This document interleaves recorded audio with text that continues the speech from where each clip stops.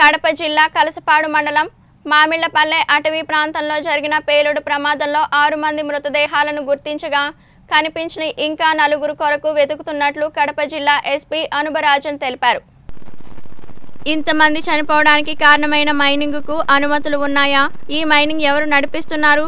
ఈ విషయమై మీడియా జిల్లా ఎస్పీని ప్రశ్నించగా విచారణలో తేలుతుందని మాట దాటవేశారు. అయితే ఈ సంఘటనపై కలసపాడు పోలీస్ స్టేషన్లో కేసు నమోదు చేశామని తొందరలోనే అన్ని విషయాలు తెలియపరుస్తాను అంటూ వెనుతిరిగారు. మైదుకూరు నియోజకవర్గం బ్రహ్మంగారి మఠం ప్రాంతానికి చెందిన అధికార పార్టీ నేత ఆధ్వర్యంలో ఈ అక్రమ మైనింగ్ నడుపుతున్నట్లు తెలుస్తుంది.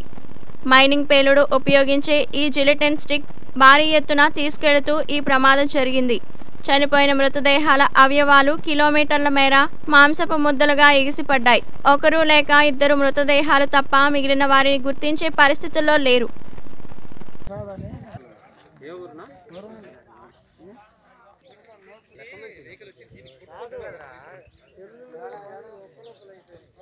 నోట్లు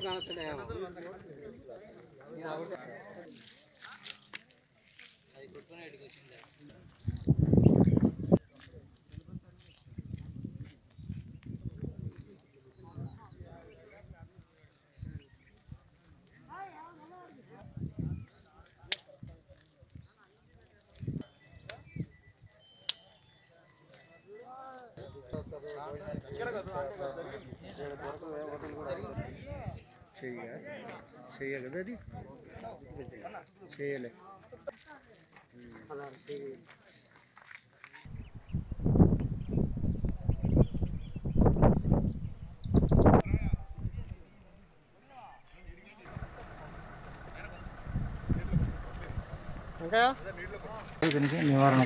ఏం మాకేం మేము చెప్పలేము. వచ్చిన తర్వాత ఏమేమి చూసినారు మీరు ఇక్కడ?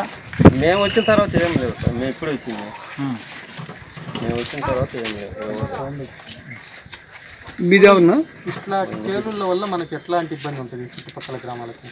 ఇబ్బంది అంటే ఇబ్బంది సార్ అనధికారి మీకేమైనా శబ్దం వినిపించిందా మేము కలిసి పడుతున్నాం సార్ మాది. వినపడినాయి సార్ సౌండ్ మాకేమి కాదు మేము అంగట్లో ఉన్నాము షాపింగ్ మేము ఇక్కడ మామూలుగా ఎందుకు వచ్చినారు ఇవి అందరూ వస్తుంటే జరిగిందని చూడడానికి.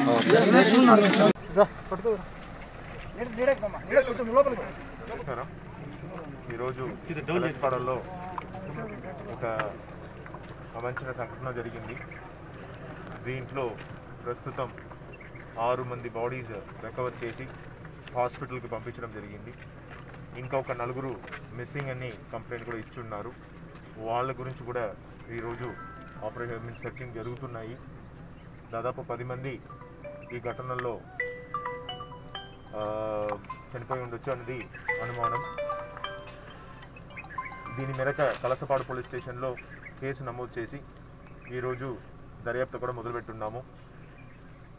ప్రస్తుతం ఈ కట్టిగా ఈ పర్టి పర్టికులర్ మైన్కి లైసెన్స్ ఉందా? అదేవిధంగా ఎక్స్ప్లోజివ్ తెచ్చిన వాళ్ళకి లైసెన్స్ ఎక్స్పర్టైజ్ ఇవన్నీ ఉన్నాయా అన్న విషయం ఇన్వెస్టిగేషన్ చేస్తున్నాము. త్వరగా అవన్నీ కూడా మీకు వెలిగించడం జరుగుతుంది. థ్యాంక్ యూ సార్ బ్లాక్ క్లియర్గా చెప్పాను కదా ఇన్వెస్టిగేషన్ చేస్తున్నాం. ఇన్వెస్టిగేషన్ అన్ని కూడా పూర్తి స్థాయిలో దర్యాప్తు చేసి దాని ప్రకారం చర్యలు తీసుకోవడం అన్ని ఇన్వెస్టిగేషన్ జరుగుతుంది థ్యాంక్ యూ దానివల్ల ఇక్కడ ఏదో ఐదు వందల రోజుకి ఇస్తుండారని అది వచ్చింది దానివల్ల. నీకేమవుతాడు చనిపోయిన? ఏమన్నా మాట్లాడాడా? ఫస్ట్ మాట్లాడినాడా నీతో? ఏం మాట్లాడలేదు సార్. ఈ రోజు అయితే మా మా మద్దలు మాట్లాడింది. అతని మీద ఎంతమంది ఆధారపడి వాళ్ళ కుటుంబం మొత్తం ఇద్దరు అబ్బాయి ఒక అమ్మాయి ఒక అబ్బాయి సార్. చాలా నిరుపేదలు. అమ్మాయి కష్టం చేస్తే తినాల్సింది కాదు. ఎంతకాలం నుంచి పని చేస్తున్నారు ఇక్కడ? గత మూడు నెలల నుంచి సార్.